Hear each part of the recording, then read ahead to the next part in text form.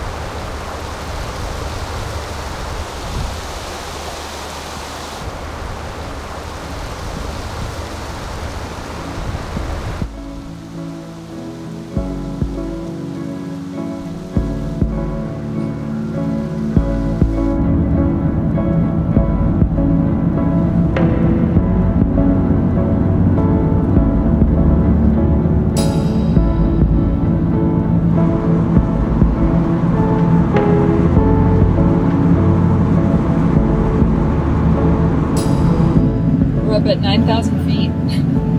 Actually, probably higher because I just passed that sign a little while ago. Still climbing. I think this is the highest Bay has ever been. Tioga Pass could close any day now because there's there's snow all around here right now. And it got so cold last night. It was well, I checked the weather um, around 1 a.m. and it was 17 degrees. So definitely had the heater on last night. But oh, and my windows froze shut. I couldn't open them this morning. This is my first time taking van to Yosemite. One of my friends scored campsites at Upper Pines Campground, and there's space for two rigs. Uh, at least that's what it says online. We're hoping we can both fit there.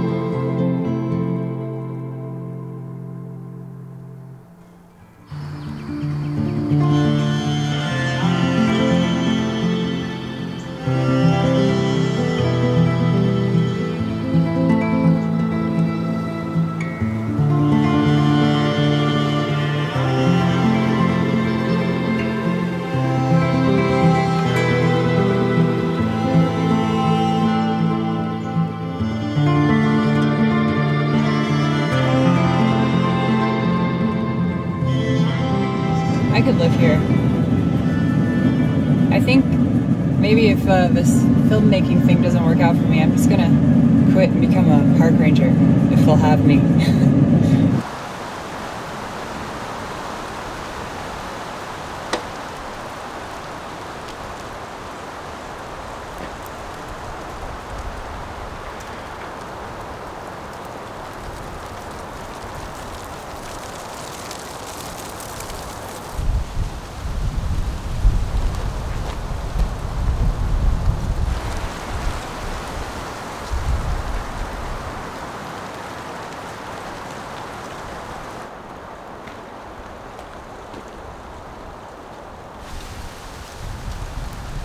Returning to Yosemite will always feel a bit like returning to a dream.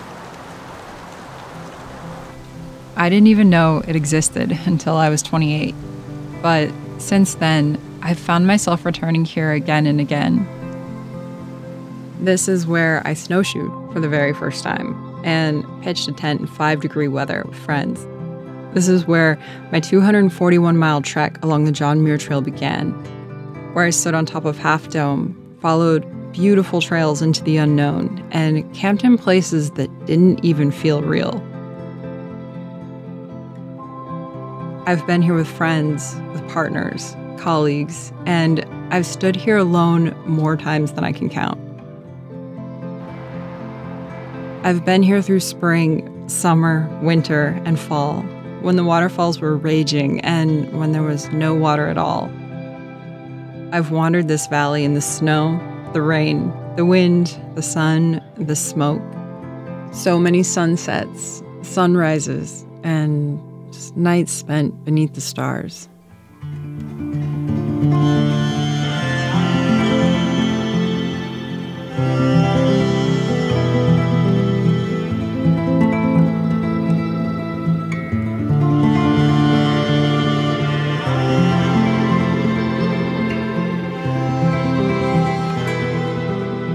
The shadow of these granite walls, I've learned from and been inspired by people who've turned their own dreams into reality. And I still have to remind myself at times that this is not a dream.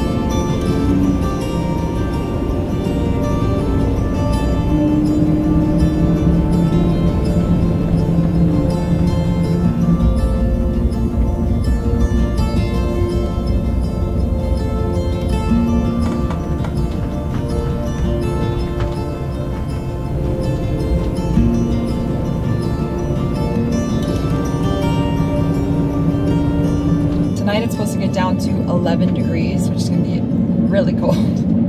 Uh, last night it was really cold, and I think it only got down to like 20s. When I woke up, I couldn't turn on my heater because my battery was completely flatlined. I am driving around the park right now, just trying to rejuvenate my house batteries, and it's supposed to snow in the next hour and a half. So, the last time I was in Yosemite, it was the day before it started snowing for the first time and it was like a huge winter storm. Being in the Xterra, I felt totally safe having a 4x4 that I could navigate the roads just fine, but I didn't have a heater and I didn't have insulation. So, pros and cons. They have closed Tioga Road, they say temporarily, closed 120 in preparation for the snow.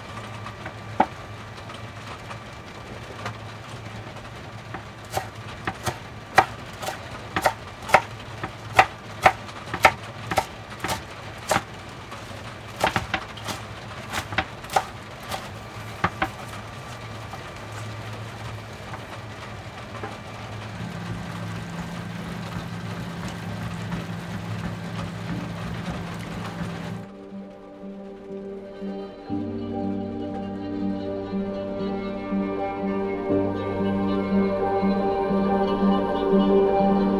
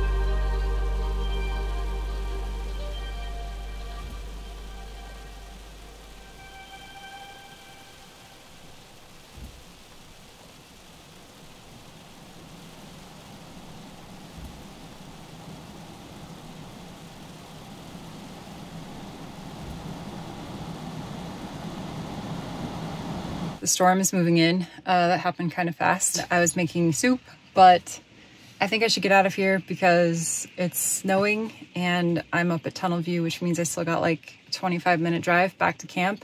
And it's getting dark and I don't want to be stuck on slippery roads. So um, my soup is cooked, but I have it on the floor. That's probably not going to go well, but figured it was better than sitting here and eating it and driving back in the dark. So fingers crossed the soup makes it.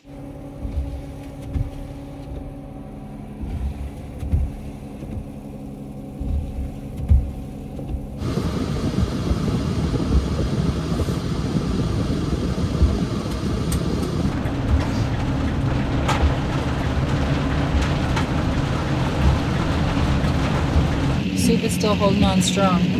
I can smell it.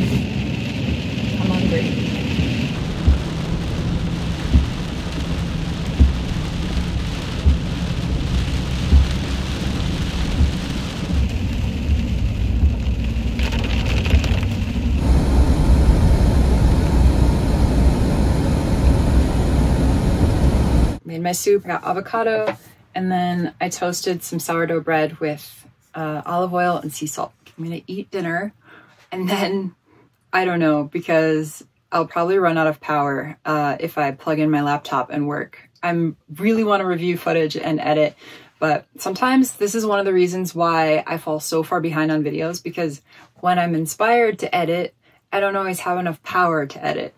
So I have to find other things to do. And tonight is probably going to be one of those nights. Anyway, I will see you guys in the morning.